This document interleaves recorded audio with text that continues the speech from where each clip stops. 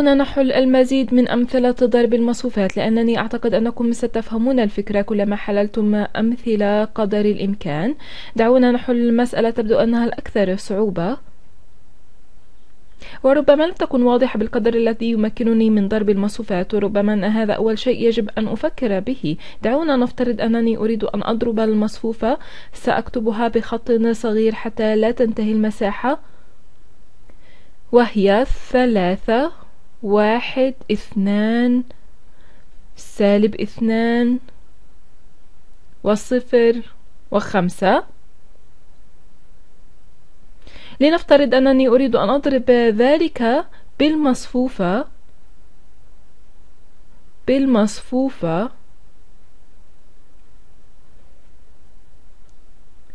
وهي سالب واحد وصفر واثنان وثلاثة. وخمسة وخمسة. إنني أكون هذه الأعداد. الشيء الأول الذي ربما أنك ستتعجب منه هو حسنا. هل يمكنني أن أضرب هذه المصفوفات؟ لأنه كما تعلمون في العرض الأول الذي كان حول آه، المصفوفات أنهم يمكنكم أن تجمعوا هاتان المصفوفتان.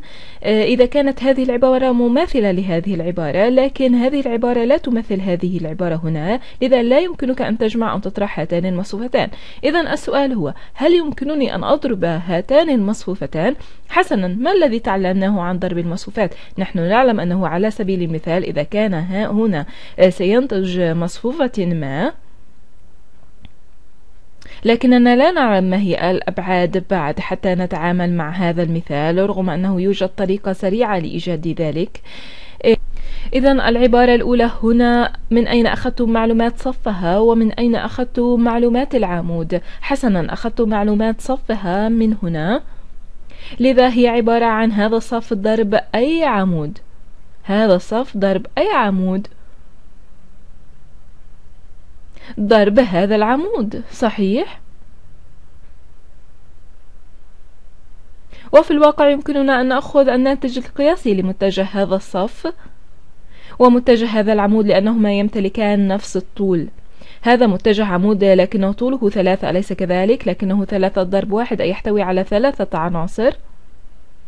وهو متجه صف واحد ضرب ثلاثة لكنه أيضا يمتلك ثلاثة ويمكننا أن نأخذ الناتج القياسي أو يمكننا أن نضرب هذان. وبالمثل يمكننا أن نضرب هذا بهذا كله لكي آه، نحصل على هذه العبارة. ويمكننا أن نضرب هذا بهذا حتى نحصل على هذه العبارة ثم هذا ضرب تلك. العبارة حتى نحصل على هذه العبارة. ويتبين لنا آه، أنه يمكننا آه، ما هو نوع هنا دعونا نسميها بمصف بمصفوفة. دعوني أبدل هذا. هذه مصفوفة A. وما هي أبعادها؟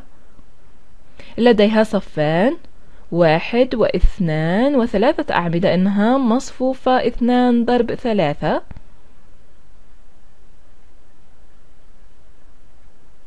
نضربها ب B B وما هي أبعاد B حسنا أنها تحتوي على ثلاث صفوف واحد اثنان ثلاثة إنها مصفوفة ثلاثة. ضرب ما هو عدد أعمدتها؟ واحد اثنان. إذا اثنان. إذا يتبين أنه يمكننا أن نضرب مصفوفتان ويمكنك أن تقول أن عدد في هذه المصفوفة عدد الأعمدة مساويا لعدد الصفوف في المصفوفة الثانية. إذا هنا اثنان ضرب ثلاثة وثلاثة ضرب اثنان. يمكننا أن نضرب.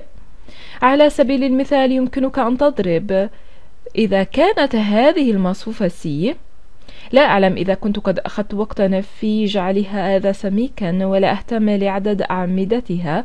يمكنها أن تحتوي على إن من الصفوف إن ضرب A من الأعمدة. ويمكنني أن أضربها بالمصفوفة D. بالمصفوفة دي طالما أن المصفوفة دي تمتلك صفوفا. طالما أنه يمكننا أن نقول هذان العددان الداخليان هنا الثلاثة نفس تلك الثلاثة ولما يؤثر هذا؟ ما هو المنطق؟ لأن هذا الصف يمتلك ثلاثة عناصر لأنه يوجد ثلاثة أعمدة وكل متجه عمود هنا سيمتلك ثلاثة عناصر لأنه يوجد ثلاثة صفوف. من هنا أتت البداهة هنا وبذلك بسرعة تقول 2 ضرب 3 أو 3 ضرب 2 هذا مساويا لذاك العدد. يمكنني أن أضرب. دعوني أمحو بعض الأشياء حتى أوفر مساحة هنا. دعوني أقوم بعملية الضرب. دعونا نجري عملية الضرب. إنني أناقش في من أين أفعل وفي الواقع إنني أقوم بذلك في الأسفل هنا ربما لأن ذلك سيوفر بعض المساحة. لذا دعوني أفعل. دعوني أمحو أي شيء آخر. دعوني أحصل على بعض المساحة من أجل ذلك. حسنا هذا سيتطلب مزيدا من المساحة. ماذا علي أن أفعل حتى أحصل على عنصر الصف واحد والعمود واحد؟ أضرب هذا المتجه بهذا المتجه. أخذ ناتج الضرب. أليس كذلك؟ إذا ثلاثة ضرب سالب واحد زائد واحد ضرب صفر زائد اثنان ضرب اثنان. وسأكتب حصلنا على هذه العبارة الأولى. والعبارة الثانية هنا ماذا سأفعل؟ سأضرب ذلك المتجه بمتجه الصف ذلك. ضرب متجه هذا العمود. وأعتقد أنكم تعرفون ما أفعل. وفي الحقيقة إن أصعب جزء في هذا هو التركيز وعدم ارتكاب أي خطأ غير مقصود. وعدم الارتباك في الصفوف والأعمدة وكل ذلك. إنها تعمل على تنشيط أدمغتكم لكنها ليست بتلك الصعوبة على ما أعتقد. ماذا نفعل؟ نضرب متجه هذا الصف بمتجه هذا العمود لكي نحصل على الصف واحد والعمود اثنان. صحيح لأن هذا الصف أي صف واحد والعمود اثنان.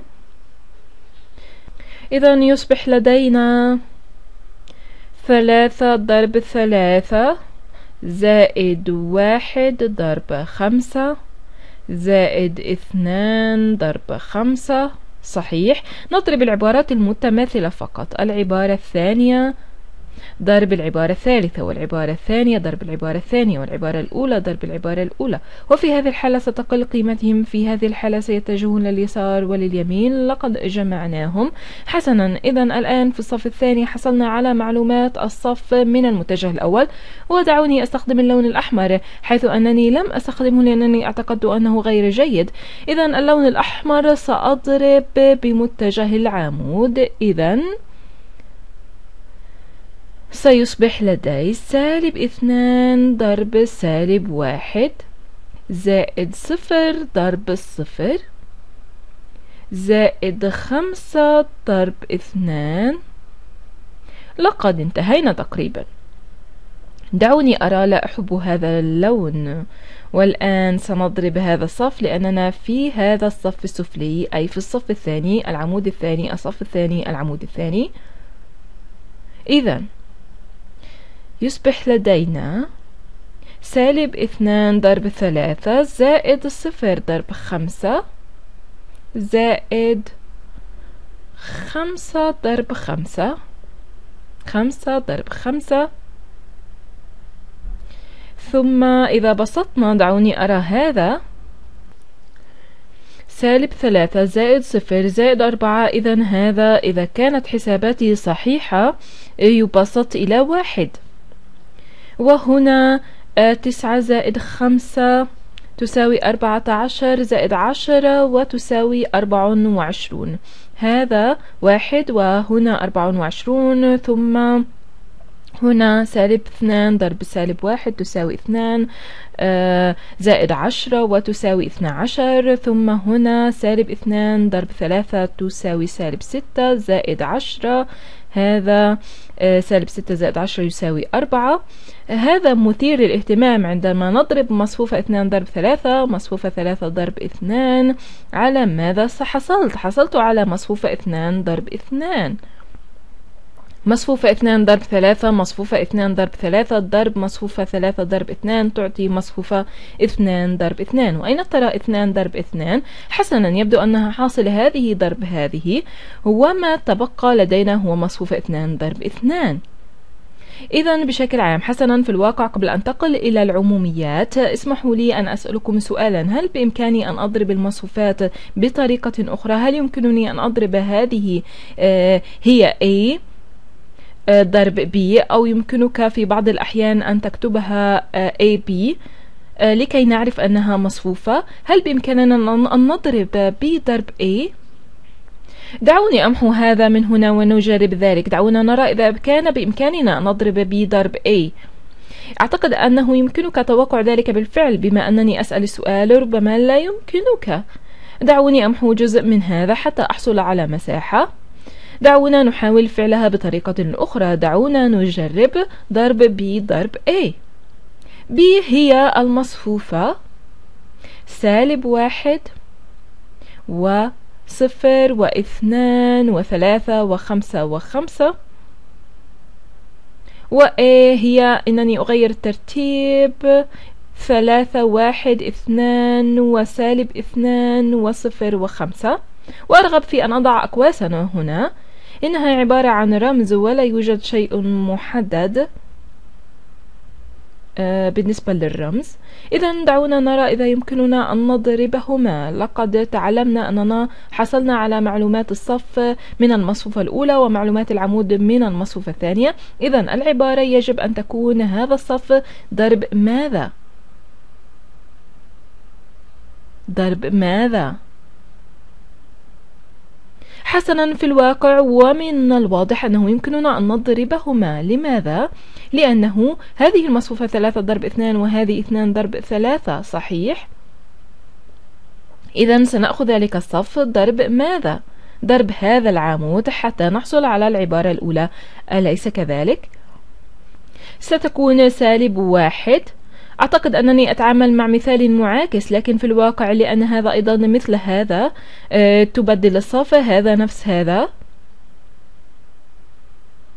فيمكنك أن تضربهم. أردت حل مثال معاكس لكن دعونا نحل هذا لأنه ليس من المتعب أن ترى مثالا آخر. يمكنك أن ترى ذلك. كم سيبلغ حجم هذه المصفوفة؟ حسنا هذا مثير للاهتمام. في الواقع ستكون مصفوفة ثلاثة ضرب ثلاثة. مصفوفة أكبر بكثير. دعونا نحلها ربما أنكم ترغبون أن تحلوا ذلك بأنفسكم. إذا هذا الصف ضرب هذا العمود. إذا سالب واحد ضرب ثلاثة ويساوي سالب ثلاثة.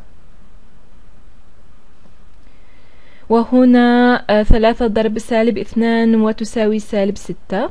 ثم ستكون هذا الصف ضرب هذا العمود.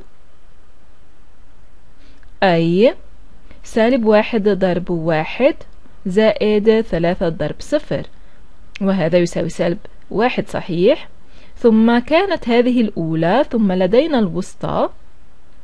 والآن نحصل على صف واحد ضرب العمود الثالث أي الصف واحد ضرب العمود الثالث أي ذلك الصف ضرب هذا العمود. يمكن أن تقول أنه من الأفضل لو أن الحاسوب يقوم بذلك. إذا سيكون لدينا هنا سالب واحد في اثنان زائد ثلاثة ضرب خمسة وهو يساوي ثلاثة عشر. دعونا نستمر. الآن سنأخذ إنها متعبة حسابيا. سنأخذ هذا الصف ضرب كل من هذه الأعمدة. وفي الواقع سوف نتعلم طريقة جديدة. طرق عدة للتفكير في كيفية آه، حدوث هذا الضرب بالإضافة إلى عدة طرق باستخدام الحاسوب لكن هذه الطريقة تقليدية إذا هذا صف ضرب كل من هذه الأعمدة. أليس كذلك؟ صفر وخمسة. إذا صفر ضرب ثلاثة زائد خمسة ضرب سالب اثنان وهذا يساوي سالب عشرة. وهو صفر ضرب واحد زائد خمسة ضرب صفر وهذا أسهل هذا يساوي صفر. وخمسة ضرب خمسة زائد اثنان ضرب صفر ويساوي خمس وعشرون. انتهينا تقريبا. الآن سنأخذ هذا الصف ونضرب بكل من هذه الأعمدة. إذا اثنان ضرب ثلاثة تساوي ستة زائد سالب عشرة. وهذا يساوي سالب أربعة أليس كذلك؟ وأيضا سالب اثنان ضرب خمسة زائد ثلاثة ضرب اثنان. نعلم ذلك سالب أربعة أي ستة ناقص عشرة. ويساوي سالب أربعة. لدينا اثنان ضرب واحد زائد خمسة ضرب صفر. وثم لدينا اثنان ضرب اثنان زائد خمسة ضرب خمسة أي أربعة زائد خمس وعشرون وتساوي تسع وعشرون. وبالطبع العبارة الأولى سالب ثلاثة سالب ستة آه وهذا يساوي سالب تسعة. لقد حصلنا عليها ضربنا مصفوفة ثلاثة ضرب اثنان بمصفوفة اثنان ضرب ثلاثة. وحصلنا على مصفوفة ثلاثة ضرب ثلاثة. من أين أتت مصفوفة ثلاثة ضرب ثلاثة؟ لأن الثلاثة عبارة عن عدد الصفوف في المصفوفة الأولى وهذه الثلاث عبارة عن عدد الأعمدة في المصفوفة الثانية. وهذا منطقي لأننا حصلنا على معلومات الصف من المصفوفة الأولى ومعلومات العمود من المصفوفة الثانية. الآن دعوني أوضح المثال الذي لا يمكنكم تبسيطه. ماذا لو أردت أن أضرب دعوني أقوم بحل؟ مثال بسيط جدا. ماذا لو أردت أن أضرب المصفوفة اثنان وواحد؟ وكل هذه في الحقيقة عبارة عن متجه صف. ودعونا نفترض أنني أردت أن أضرب هذا ب ب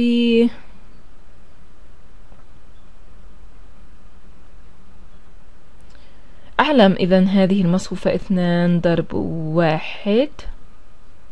ثم دعوني أفترض أنني أريد أن أضرب بدعوني أفكر بشيء ما. إذا واحد واثنان وثلاثة وأربعة وخمسة وستة. الآن هل يمكن أن أضرب هذا؟ حسنا ماذا لدينا؟ هذه مصفوفة ثلاثة ضرب اثنان هل بإمكاني أن أضرب هاتان المصفوفتان؟ حسنا ماذا علي أن أفعل؟ لقد حصلنا على معلومات الصف من هنا وعلى معلومات العمود من هنا أوه آسف هذه ليست اثنان ضرب واحد إنها صف وعمودان إذا تكون واحد ضرب اثنان أليس كذلك؟ إنها مصفوفة واحد ضرب اثنان فهل يمكننا أن نضرب مصفوفة واحد ضرب اثنان بمصفوفة ثلاثة ضرب اثنان؟ حصلنا على معلومات الصف من هنا لذا علينا أن نضرب هذا بهذا العمود لكي نحصل على العنصر الأول ثم هذا ضرب هذا العمود ونحصل على العنصر الثاني ولا أعلم ماذا يحدث من هنا هل بإمكاننا أن نضرب باستخدام الطريقة التي عرفنا بها الضرب. إن الناتج القياسي للضرب هل يمكننا أن نضرب؟ دعونا نرى. اثنان ضرب واحد زائد واحد ضرب اثنان ثم أنه ليس علينا أن نفعل أي شيء بالثلاثة. وبحسب الطريقة التي قمنا بتعريف ضرب المصفوفات بها لا يمكنكم أن تضربوا هاتان المصفوفتان ولا يتوجب عليكم أن تحلوا. ذلك يمكنكم أن تنظروا إلى الأبعاد. هنا ثلاثة ضرب اثنان. هذه اثنان غير مساوية للثلاثة عدد الأعمدة في آه، في المصفوفة الأولى. لا يساوي عدد صفوف المصفوفة الثانية. لا يمكنكم أن تضربوا هاتان المصفوفتان. هذا شيء مثير للاهتمام وفي الواقع أن هذه مجرد أمثلة وهو مثال جيد لكي تفكروا به حيث يمكنكم أن تضربوا A ضرب B لكن لا يمكنكم أن تضربوا B ضرب A. أريدكم أن تفكروا بالأمثلة التي يحدث بها ذلك الشيء لكن على أي حال سوف أراكم في العرض التالي.